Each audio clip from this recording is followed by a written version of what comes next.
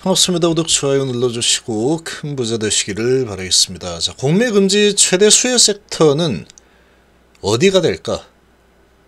무조건 바이오입니다. 무조건. 무조건 바이오다. 이렇게 보시는 게 좋습니다. 왜 그런지 예, 제가 설명을 해드리겠습니다. 무조건 바이오다. 무조건. 24년도 금리 변곡점이 생기게 되죠.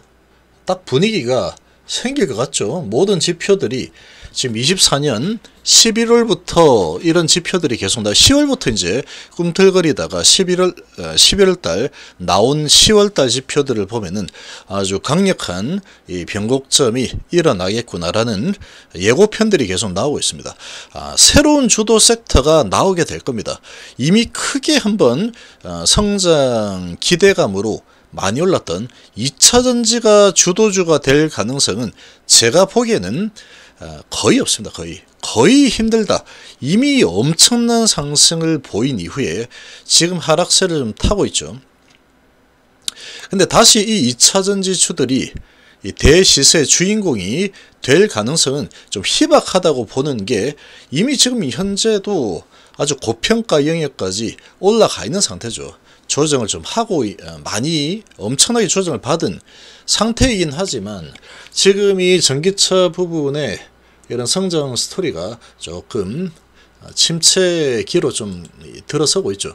자, 그런 관점에 이제 한번 크게 또 시세를 줬기 때문에 새로운 이 금리 변곡점에서 금리 나 시대에 새로운 주도 섹터가 나올 가능성이 크다. 아, 이렇게 생각이 되는데 아, 어디가 될지는 모릅니다. 모르지만 지금 분위기상 바이오 쪽이 이, 이런 주도 섹터가 충분히 될 수 있는 환경을 가지고 있다라고 좀 봅니다. 영원한 성장주죠. 우리나라의 바이오는 적어도 미국이나 다른 나라는 모르겠습니다. 지금 엄청나게 바이오주들 시총이 큽니다. 거기는. 삼성전자보다 시총 큰 바이오 기업들이 많죠. 자, 그렇기 때문에 우리나라의 바이오는 영원한 성장주다. 지금 세계에서 차지하는 비중이 뭐 몇 프로 안 된다 그러죠. 한 2%인가 밖에 안 된다 그러죠. 그러니까 지금 성장성이 무궁무진하다. 우리나라 바이오는. 이렇게 볼 수 있고. 자, 그래서 HB 그룹은 어, 어느 날 갑자기 떡상하는 흐름이 얼마든지 나올 수 있는 또 이런 힘이 있는 기업이죠. 그리고 지금 아주 큰 결과물을 이제 손에 쥐는 게 6개월 정도 어, 남아있는 수준이고 그리고 HB 그룹이 진행하고 있는 이런 이 항암제 부분들 보면은 미래 성장 이 기대감이 아주 큰 그런 종목들이 예, 또 있죠. 자, 공매 금지 섹터가 왜 바이오가 최대 수혜주라고 볼 수 있느냐? 제가 계속해서 말씀드렸지만 이거는 계속 지속적으로 관찰을 하지 않으면 모릅니다. 계속 저는 어, 관찰을 하죠. 시간을 투자해서. 제가 항상 했던 말이 있죠. 바이오는 공매들이 승인을 하면 올라갈 수 있고 얘들이 내리겠다라고 하면은 무조건 내려가는 공매들의 현금 인출기다 라는 표현을 정말 한 50번 이상 한 것 같습니다. 제가 방송하면서. 그래서 가장 영향을 많이 받는 쪽이 바이오 쪽이었죠. 그러니까 내릴 때는 돈 못 벌잖아. 이런 걸로 내리고 올릴 때는 기대감 있잖아. 이런 식으로 올리고 이걸 갖다가 계속 무한 반복을 했죠. 무한 반복을 하면서 예, 공매들이 하고 싶은 대로 마음대로 좌지우지하는 가장 크게 영향을 받았던 쪽이 바이오입니다. 예, 심지어 제가 그렇게까지 얘기했죠. 적어도 진짜 우리나라에서는 공매 금지를 못할 것 같다 그러면 바이오만이라도 공매 금지는 반드시 할 필요가 있다. 이런 말까지 몇 번을 제가 말씀드렸죠. 근데 워낙에 정말 말도 안 되는 주가 흐름들이 너무나 많이 목격이 되었기 때문에 그렇게 말씀을 드렸었는데 그러니까 말 그대로 정말 얘들이 올리고 싶으면 올리고 내리고 싶으면 내리는 게 바이오 쪽이었죠. 자, 그런 예, 상황이었다. 공매 금지에 가장 큰 수혜를 받는 것은 공매들이 마음대로 가지고 놀던 시장인데 공매가 금지되었으니 가장 큰 영향을 당연히 받겠죠. 좋은 쪽으로. 여기에 이제 시장 조성자까지 공매 금지가 되면은 확실하게 단도리를 딱 칠 수 있는 그런 상황이 만들어질 텐데 어쨌거나 뭐 공매 금지가 된 것만 해도 엄청난 거죠.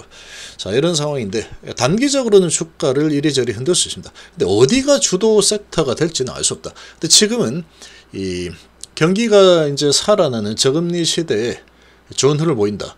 아, 그렇게 된다 그러면 가장 크게 살아날 만한 쪽은 반도체가 될 겁니다. 반도체가 지금 이제 디램가가 올라서고 있죠. 그런데 반도체 쪽은 주가가 이미 그럴 줄 알고 나 먼저 많이 올라와 있지롱 6배 올라와 있어나 요렇게 되죠. 요렇게 돼 있는 상황이니까 더 갈 수는 있습니다. 더 갈 수는 있겠죠. HBM이라는 이런 부분 때문에 더 갈 수는 있겠지만 아, 상당히 많이 좀 많이 치고 올라와 있는 상태죠. 많이 치고 올라와 있는 상태. 6배 정도 상승을 한 상태인데 예, 반도체 장비주들이 아주 크게 많이 올라 있다. 이런 예, 부분이 있기 때문에 반도체 쪽도 좋긴 한데 반도체를 만약에 본다 그러면 이렇게 조정이 어느 정도 많이 되어 있는 좀 소외받고 있는 이런 위치에 있는 쪽을 공략하는 게 좋습니다. 탄력은 아마 더 좋겠지만 오르고 내 올릴 때 크게 올리고 내릴 때 크게 내려쳐버리는 이런 쪽으로 움직이는 게 주도를 하고 있는 HBM 수혜주들이다라고 볼 수 있죠. 근데 워낙에 많이 올라 만 원에서 지금 3만 원까지 한 3배 정도 올라 있는 상태죠. 그러니까 지금은 이렇게 많이 올라 있는 쪽은 조금은 피하는 게 좋아 보이고 뭐 삼성전기 이런 거 괜찮죠. 어, 지금 올라 있는 부분이 얼마 없습니다. 그리고 이제 금리나 대세 상승장으로 간다 그러면 뭐 이런 이 위치가 조금 낮게 형성되어 있는 이런 전기전자 아, 반도체 쪽 아, 괜찮아 보이고 자 그 다음에 뭐 이런 것들 지금 어, 못 올랐죠 아, 지금 1년 동안에 뭐 한 6배 4배 이렇게 올라갈 때 거의 뭐 제자리 걸음을 계속했던 이런 종목들은 조금 지금은 소외를 받고 있지만 반도체 쪽이 앞으로 좋아진다. 그럼 이런 쪽이 좀 치고 나갈 가능성이 좀 있습니다. 자 그리고 2차 전지 주들은 정말 많이 조정을 받았습니다. 그래서 많이 낙폭이 과대한 이런 쪽으로 봤을 때는 좀 유리하긴 하죠. 어, 다시 한번 또 치고 갈 수 있겠구나. 어, 그렇게도 볼 수 있습니다. 갈 수도 있겠죠. 충분히 다시 한번 갈 수도 있는 상황이다. 그런데 이미 지금 23년도에 스타주입니다. 23년도의 스타주가 다시 24년도에도 다시 내가 스타야 하고 올라가기에는 좀 부담스러운 위치라고 볼 수 있죠. 아직 피, 지금 피, 아직도 많이 조정을 받았다고 하지만 23년도 스타죠. 지금도 PR이 어마어마합니다. 고 PR로.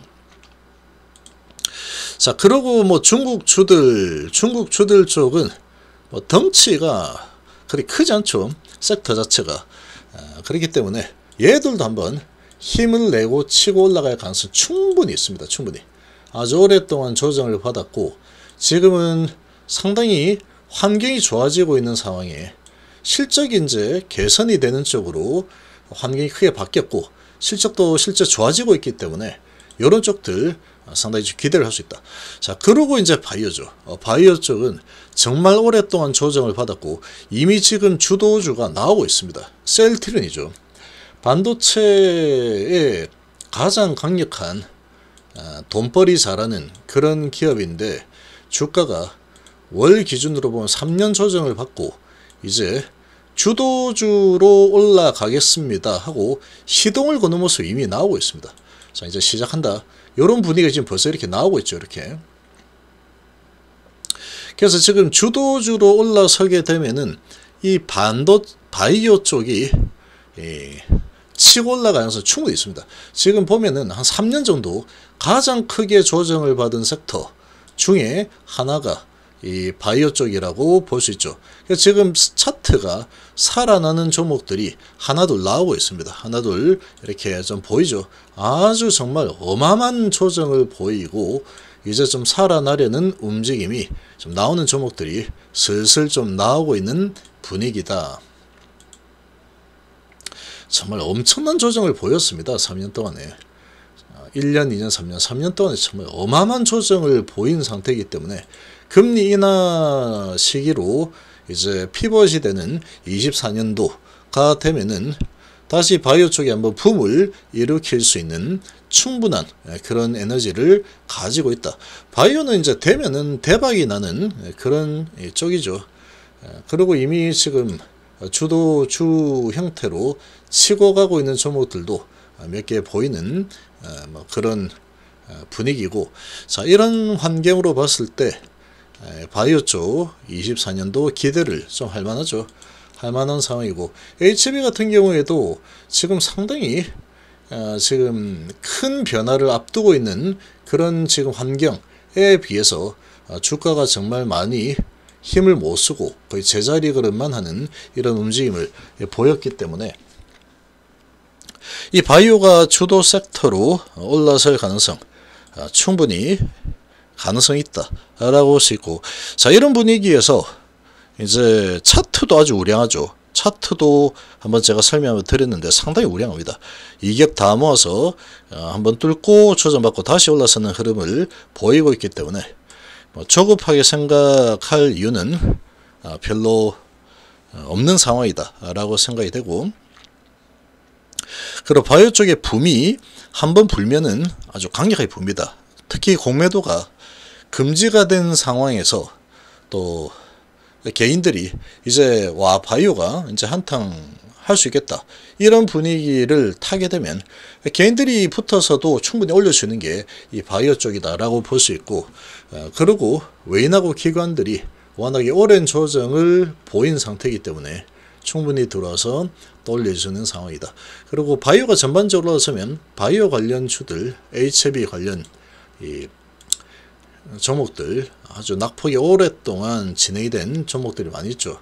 자, 이런 쪽들 한번 고개 들고 밀고 올라간 흐름이 충분히 나올 수 있는 그런 환경이 만들어질 거다.